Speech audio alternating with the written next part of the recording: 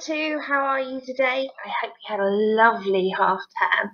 The weather was amazing, wasn't it? And funny enough, we're going to see some more amazing weather in our new topic for the last of the summer term. So today it's Monday, the 1st of June 2020, and Mrs. Lang is ready for our new topic. Hmm, I wonder what it could be. I have a hat and I have the camera at the ready. I've lost my binoculars. I'm going to give you another clue what you think our topic might actually be today.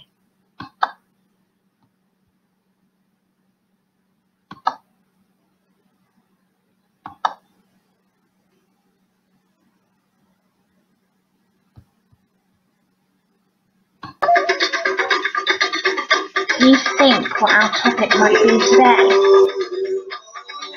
Or for the rest of the term, should I say?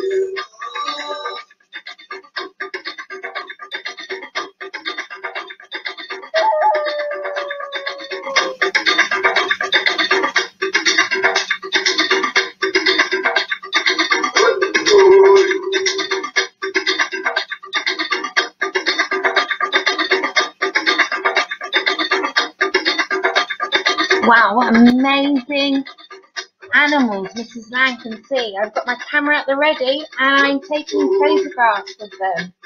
Wow, look at the vervet monkeys. Amazing. I wonder where I could see all these amazing animals in. In fact, that's not much of a clue because the actual plains that this is on does go across two countries. And in fact, we're going to be looking at one of those countries for our next topic. Think about it. Where can you see such diverse animals? Diverse means different. The place we're going to be looking at has its own ecosystem and it's amazing. And it's very popular for going to see such animals. Are you there yet? Do you know what our topic will be?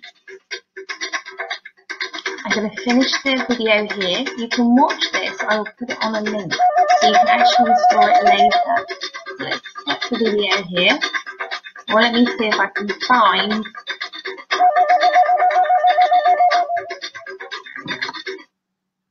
There we are. I'm going to stop the video here. Have you guessed? Have you guessed where we could be? So, the clues, I've got a safari hat, I've got my camera at the ready, lost my binoculars, always have my water. So our topic this term is going to be Kenya. Wow. So we are going to look and learn all about Kenya. We're going to have a look at the climate, we're going to have a look at the population, we're going to have a look at animals, and we're going to write an amazing fact file of everything we know. So we're quite lucky actually because we are going to look at the life of a child as well in Kenya and what it's like to grow up as a child in Kenya. And do you know, we have our own special guest actually that you can think about questions you can ask you can ask Mrs. Shah because she grew up in Kenya. So she knows lots and lots and lots about Kenya and she can tell you what it's like in her own experience. So it is slightly different. You will not have me as as in the videos. So what you will what we will see is Mrs. Lang is going to send you some links and I'm going to send you some files and this is going to be self-generated. So I'll show you what I mean. I've got a little bob my head here there we are. Let's minimize that and I'll take you to where I want you to go. So, right, our, to our topic is Kenya. This is Lang, put your false teeth in. And I will be sending you out lessons in files. So, other than this video, you won't be getting videos sent out from me because Mrs. Lang is going back to work, well, going back to school next week. This is work, but I'm going back to school next week. So I will be watching and looking at your work, so don't forget to do it. So each week I will send you the lesson one. So for instance, the first week with this video, you will be getting lesson one introduction. So you'll have a box like this. If you click onto the file, there we are, you have lots of different activities and information. So we are going to be looking at Kenya and I would like you at the very end of the topic to be able to present to me your own fact file, which I will then put on a video and we can display and everyone can see your fact files. So make sure that you put your best effort in, take a picture, take a video, send them to me, and then I can show them for everyone. Now, as I said, I'm going to send you these lessons it will be as a, a Kenyan topic. I might have to zip them up for parents. I might have to show you how to unzip them as well. If you need any help with that, please contact the Year 2 team and they will be glad to help you with that. So for our first lesson, it's going to be the introduction. So let's have a look what we have, what files we have there. So I'm going to first show you a bit about the UK fact file. Okay, so these are UK facts. So this tells you lots of information about the UK. Now this will be good because it shows you really what I would like in your Kenyan file, but also if you want to compare. So there might be questions during the topic that asks you about your own life or asks you about the UK. So you can compare and really understand what it is like for people in Kenya. Okay, so this is a glimpse of the UK. As you can see, Mrs. Lang has got the UK facts. I've got a little bit about the geography. I've got the mountains there, which I'd like you to see. Then I have different facts here, and the capital, which I know you know is London, because we all live there. There has some different facts there. You will be sent this so you can read this at your leisure. Um, there are 63 million or such in the UK. So that gives you an idea of the population. You remember population just means how many people there are. And we'll be looking at urban and country. Remember urban, that means the city. So we'll be looking at all this information. Mrs. Lang has got a few facts here because I like the fact that the UK time is the Greenwich Mean Time. And if you go to the Greenwich, if you can do it at all, when everything's back to normal, perhaps we could actually look at where the daytime is and have a look at the zero line, which is where we all get our times from. So that's brilliant. There are other facts about the UK. I've looked at transport, the different transport routes, and also about the economy. The economy, what does the economy mean? The economy just means how people earn their money and how rich the country is. Okay, so you will need help with an adult for this, so they will help you with the economy. You don't have to go into too much detail about the economy, but perhaps just list the jobs that are there in Kenya. Okay, so all this information will be provided for you. Mrs. Lang has also got questions that she would like answered. So I have different questions like, what might the expensive, most expensive office be in London? Or in England, do we actually win any Nobel Prizes? Do people go to the cinema? Do they receive lots of guests? And I've put the answers here for you. So the most expensive office rents in the world are in Mayfair in London. So it's a very expensive place to live, London. And we are the second largest recipients, which means most number of people that have actually received the Nobel Prize. So maybe one day you guys could receive the Nobel Prize. That would be amazing. We also spend the third largest tourism spend. So that is the UK facts. I will send this to you so that you can have a look at the information there.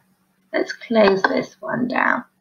Okay, so I do have information on Kenya. So I have Kenyan facts here about the animals. Let's go back. So there is a Kenyan doc there.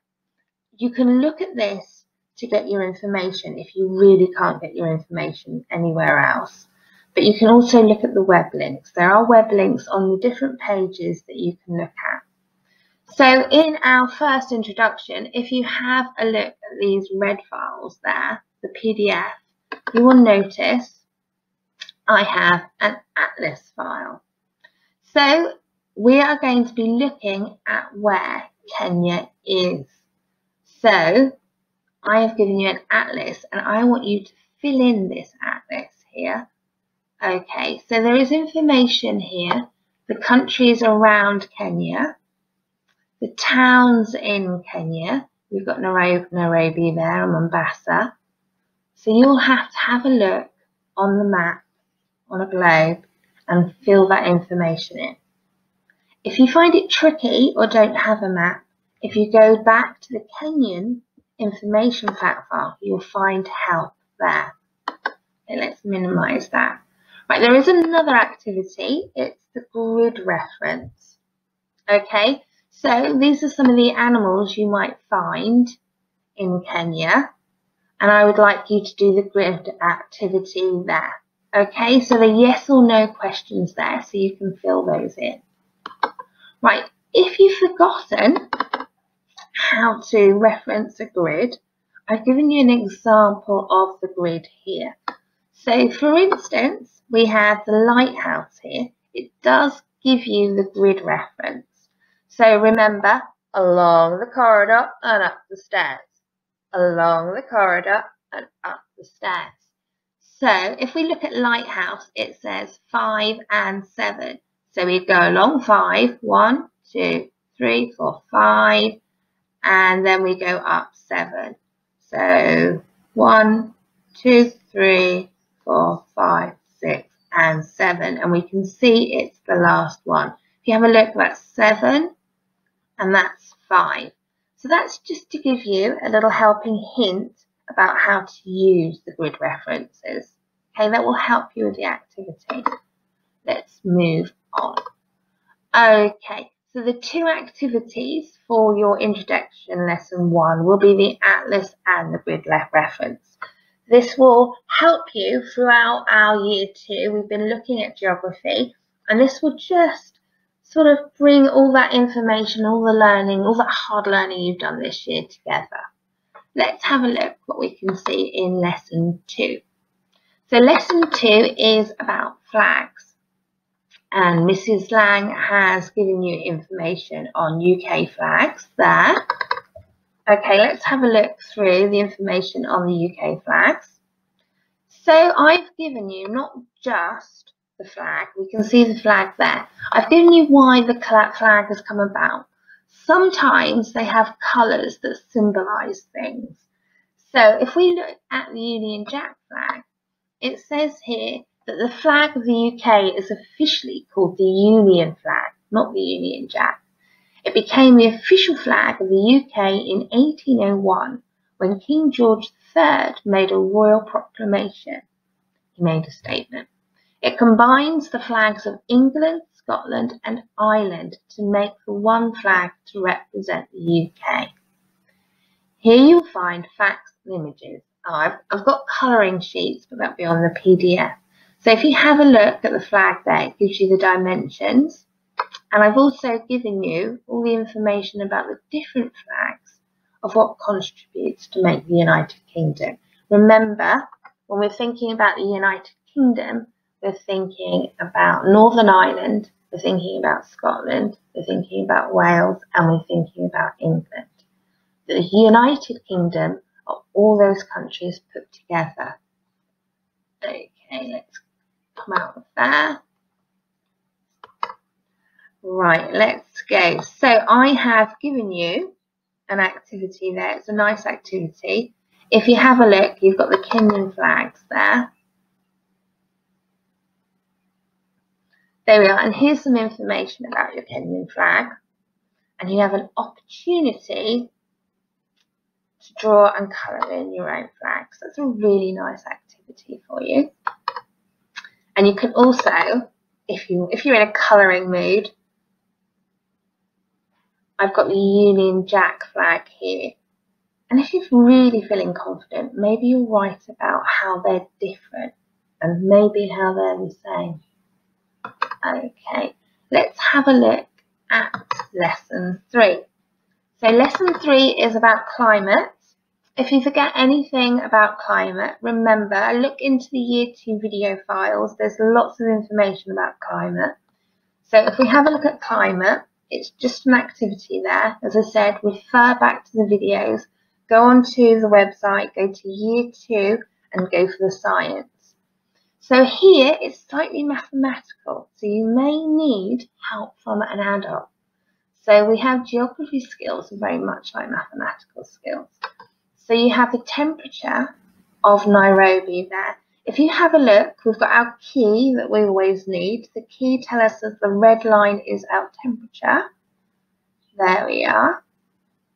And the blue tells us how much, in millimetres, how much rain they get. So if you have a look in April, wow, that's a lot of rain. There's also a comparison with England. And we thought we got a lot of rain. If you have a look at the April in England, and then you had a look at the April in Kenya, and also November, you can see how much more rain they get. But if you have a look at the temperatures, the temperature tends to be 250. We tend to have a very big curve there. So our temperature changes throughout our seasons. There are questions there and I will ask you the questions and hopefully with an adult you can fill those in. Okay, so that's climate and that's our lesson three.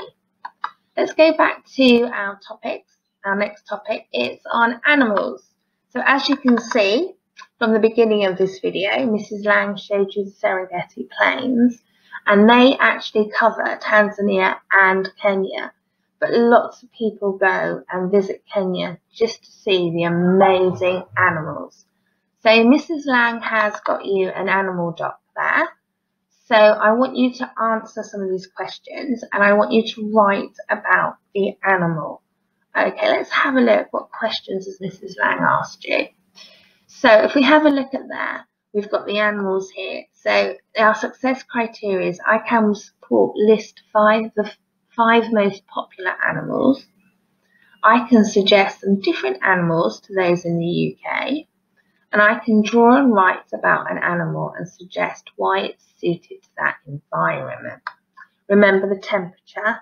Remember in Kenya, they have their own ecosystem there. Remember, if we have a look, go back to the videos, we did it all about habitats. So think about the habitats, refer back. This topic as I said, it's about bringing all your learning together. And you're, at the end of it, we're going to have a lovely display of Kenya. So you'll be answering those questions. I have given you lots of pictures there and clues that you can pick an animal from. And there's also the website here that I use. And that will take you through to the website here. This is Lang says. Okay, let's try that again. Okay, here's the website here, and that will tell you all about the Kenyan animals. In fact, this website is amazing, and I got a lot of my information from there. So if you get stuck, have a look at the website.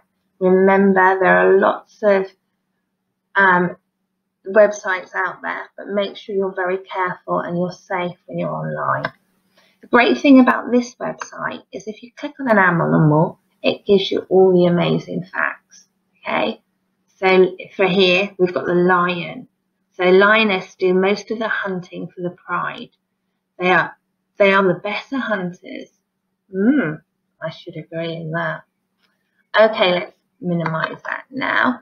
So that's our animals for lesson four. So if we go back to our Kenyan topics, we're going to go to lesson five. So this is what it's like to grow up in Kenya.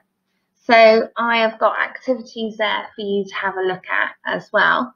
And I've got two links to videos which you can have a look at. So um, our success criteria is I can answer some questions with support. I can answer what is different and what is the same for children in Kenya and my own country. I can think of questions to ask Mrs. Shah to help me understand more about children's lives in Kenya. So remember, Mrs. Shah, she grew up there. So if you want a real first-hand experience of what it's like, think about those questions. Write the questions down to year two, and Mrs. Shah will pick them up for you. Okay, so I have some videos here, and that will tell you about two girls and their lives in rural Kenya. Remember, that's the countryside and also urban Kenya, which is the city where we live. So it's very, very, very similar actually. So tell me what you think about that. And we have some questions there that you can answer. Okay, let's go back to our Kenyan topic. So we are going to go to lesson six. So this is where we start putting all the information that we've been doing and we start putting it together. So I have the Kenyan doc there. I also have the UK doc there. These will help you, as I said, with any information that you can find that they will be there.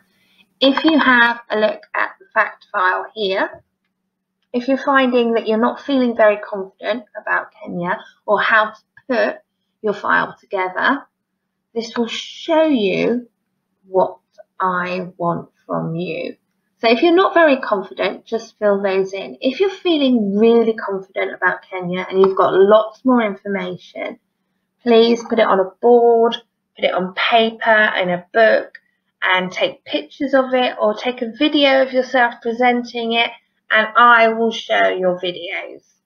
Okay, so let's put you down here.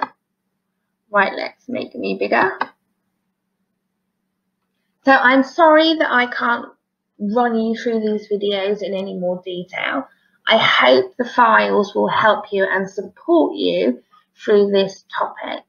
I know all the work that I've seen that you are great and I know that you can do this and I am so looking forward to seeing the end results. If you have any questions, make sure that you come and ask year too. Okay, so for now, and humanities, it's a goodbye from Mrs. Lang. But I hope to see you very soon with all those brilliant, brilliant fact files that you're going to make me, and I can show them in a great big spectacular humanities party at the end of the summer term. So, good luck. Again, any questions, please write to year two. I know you know the drill by now. Have a really good week and I'll see you soon. Bye!